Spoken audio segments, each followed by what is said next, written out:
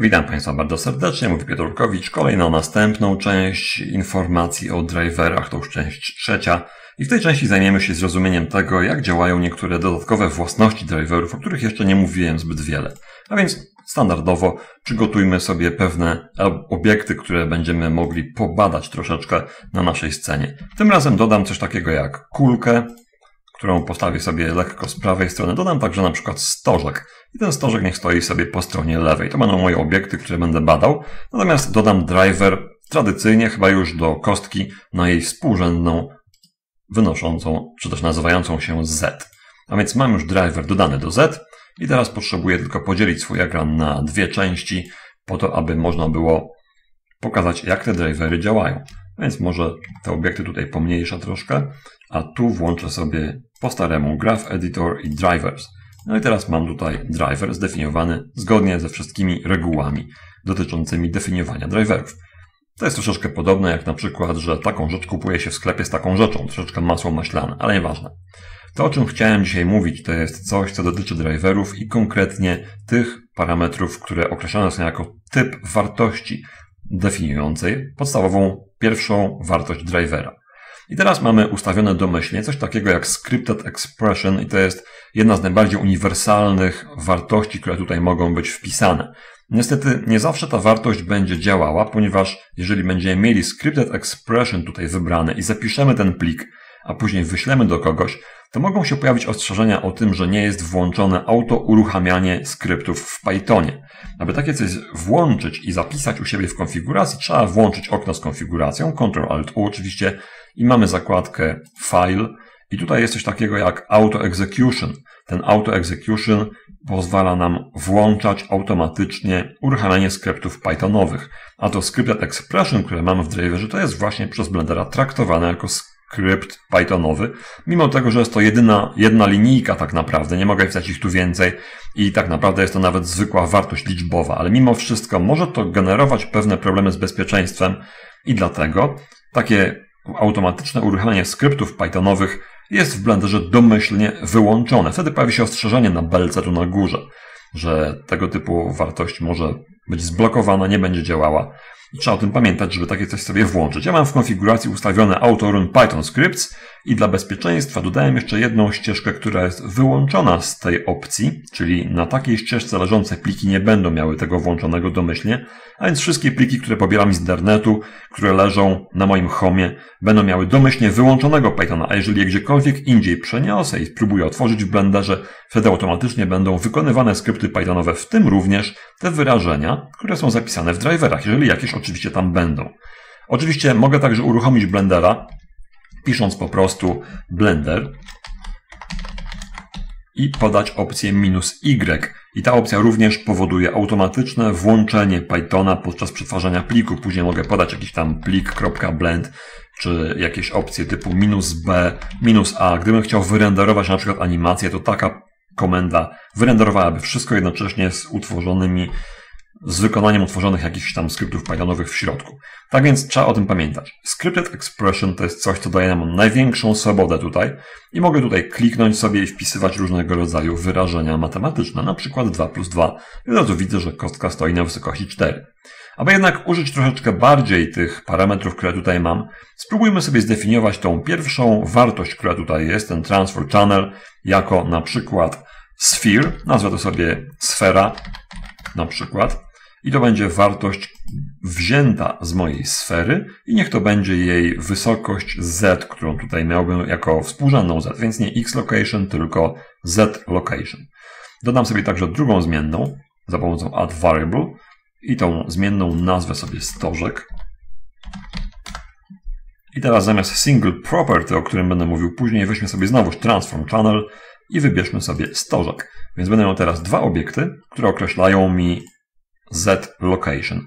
I będę mógł zobaczyć także tutaj coś takiego, że jeżeli włączę sobie debug info, to zobaczę, że dla stożka na przykład wartość Z location wynosi 0, dla sfery Z location wynosi 0, no chyba, że przesunę któryś z tych obiektów, na przykład sferę przesunę na 3, stożek na 1 i teraz jak kliknę w kostkę, aby widzieć dalej ten driver, to już widzę, że te wartości się odświeżyły tutaj. Mój driver wynosi obecnie 4, co nie jest niczym szczególnym, bo wpisałem tu 2 plus 2, ale zamiast tego mogę wpisać sobie tutaj po prostu sfera plus stożek, co spowoduje policzenie sumy tych wartości, które mam dodane w tych panelach. A więc mam teraz dwie zmienne nazywające się stożek i sfera, policzyłem ich sumę, nic szczególnie zaskakującego. Jest tutaj ta suma wyliczona i to jest moje scripted expression, które działa po prostu uniwersalnie. I teraz te wartości, które są oprócz tego tutaj, to jest dokładnie coś w tym stylu. To jest takie uproszczenie pewnych wyrażeń, które mogę tutaj mieć wybrane, czy też wpisane. Jeżeli wybiorę sobie na przykład coś takiego jak sum of values, będzie to dokładnie to samo i widzimy, że wartość drivera pozostaje na wysokości 4. Jest to zwyczajnie suma tych wszystkich zmiennych, które mam tutaj zdefiniowane, niezależnie od tego, czy będzie ich 5, czy 10, czy 20. Na razie mam tylko dwie. I teraz jest to suma położeń, oczywiście, stożka i kuli, a więc jeżeli podniosę je na przykład na tą samą wysokość, to kostka będzie oczywiście dwa razy wyżej, bo to jest tak jakby sumowanie dwóch takich samych wartości. Mam nadzieję, że to rozumiecie. Teraz, jeżeli kulka jest na wysokości 1, stożek na wysokości 3, to klocek będzie na wysokości 4. Żadna filozofia. Ale oprócz tego mogę wybrać sobie również zamiast sum values na przykład coś takiego jak average value. Average value jest to wartość średnia, a więc w tym momencie mój klocek będzie znajdował się zawsze w połowie wysokości pomiędzy kulką i stożkiem tak dobrze powiedziałem, stożek czy klocek. Klocek w połowie wysokości między stożkiem a kulką. Muszę tutaj szybko myśleć. Także jeżeli oba te obiekty zewnętrzne są na tej samej wysokości, to i klocek będzie na tej samej wysokości. Jeżeli natomiast ten obiekt kulkę podniosę do góry, no to klocek będzie znajdował się dokładnie w połowie wysokości pomiędzy nimi. I teraz stożek ma wysokość 0, kulka ma wysokość 10, a klocek będzie miał wysokość 5, ponieważ to jest średnia wartość z tych dwóch składowych tutaj. Aby policzyć tą wartość średnią za pomocą scripted expression, czyli za pomocą tego, mogę wrócić do mojej sumy na początku, ale potem biorę sobie tą sumę zwyczajnie w nawiasy. Może pokażę to na powiększonych elementach interfejsu, by to było lepiej widać. Mogę wziąć sobie tutaj, dodać nawias i teraz za nawiasem mogę całość podzielić przez 2. I dostanę znowuż wartość 5, a więc to będzie dokładnie to samo, co miałbym wybrane tutaj average value. W przypadku sumy wartości mam po prostu sumowanie i nie jest to nic szczególnego, ale możemy spróbować zasymulować również tę funkcję za pomocą scripted expression, po prostu wpisując to, co miałem już wcześniej i to widzieliście. To jest ten sfera plus stożek i to jest moja suma, nic nadzwyczajnego. Natomiast w przypadku na przykład czegoś takiego jak minimum i maximum value, mamy tutaj do czynienia z wybraniem tylko jednej wartości z całej listy. Czyli z tej całej listy wartości, które tutaj mam, z tych zmiennych, wybierana jest tylko jedna i w tym przypadku, gdy jest minimum, wybierana jest ta najmniejsza. A więc w tym momencie zmuszamy tak jakby wartość drivera do posiadania najniższej wartości spośród tych wszystkich.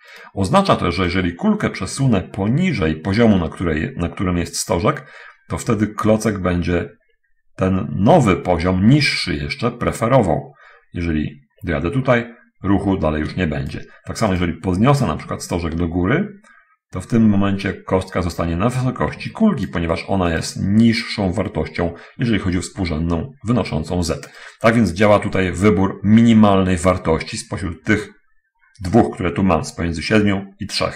Mogę to również zasymulować za pomocą scripted expression. Otóż tutaj jest zrobiona taka fajna akcja, że ponieważ ten jeden pasek edycji pozwala mi wpisywać funkcje, które pochodzą bezpośrednio z biblioteki Pythona dołączonej do Blendera i jednocześnie z samego API blenderowego, to mogę tu wpisać specjalną funkcję, która wylicza minimum wartości. Biorę sobie, po prostu wpisuję min, później w nawiasach podaję listę oddzieloną przecinkami wszystkich obiektów, które mam zdefiniowane jako zmienne w moim driverze. I w tym momencie, jeżeli kliknę tutaj obok, widzę, że wybrana została wartość minimalna i działa dokładnie tak samo. A więc znowuż scripted expression tutaj ma jakby przewagę, w tym sensie, że daje więcej możliwości, bo wszystkie pozostałe elementy wyboru z tej listy mogę sobie zasymulować. Podobnie będzie z wartością maximum value i tutaj również mam wybrane wartość maksymalną. Teraz jeżeli przesunę kulkę do góry, to klocek podąży za nią albo zostanie ze stożkiem, ponieważ on jest teraz wyżej niż kulka. Tak to działa. Oczywiście, gdybym chciał to maximum value zasymulować za pomocą scripted expression, musiałbym tutaj wpisać po prostu wartość max. I jest cała lista takich funkcji. Powiem o tym później, gdy będziemy mówili o driverach definiowanych przez funkcje Pythonowe. I te funkcje mogę sobie bezpośrednio tutaj spokojnie wpisywać. I teraz Może się wydawać, że ten scripted expression ma przewagę nad tymi pozostałymi elementami, bo one są bardzo ograniczone, bardzo prymitywne, są w zasadzie ograniczone tylko do jednej, jedynej funkcji. Ale jeżeli będziemy mieli wybraną którąś z takich pozycji właśnie typu average value albo jakiś inny rodzaj value, to w tym momencie nie będzie się pojawiało ostrzeżenie o tym, że używamy jakichś skryptów Pythonowych w Blenderze i nie będzie potrzeba włączać czegoś takiego jak ta konfiguracyjna opcja, którą pokazywałem tutaj. Te auto-run Python scripts może być wyłączone, które domyślnie jest wyłączone w konfiguracji Blendera, więc jeżeli kiedyś spróbujecie zrobić jakiś plik na przykład, w którym będą drivery, to preferowaną taką zasadą jest to, aby używać tych prostych rozwiązań, które są tutaj, a jedynie w ostateczności sięgać po scripted expression, ponieważ te wartości proste będą działały nawet wtedy, kiedy Python jest domyślnie w Blenderze wyłączony. Po prostu nie będzie się pojawiał żaden błąd, wszystko będzie działać. Natomiast to wymaga specjalnej zgody osoby, która konfiguruje Blendera, aby wszystko tutaj chodziło jak należy. Warto mieć to na uwadze. No i cóż, na tym chyba pozostaje mi zakończyć. Także pozdrawiam i udanych blenderowań. Do zobaczenia.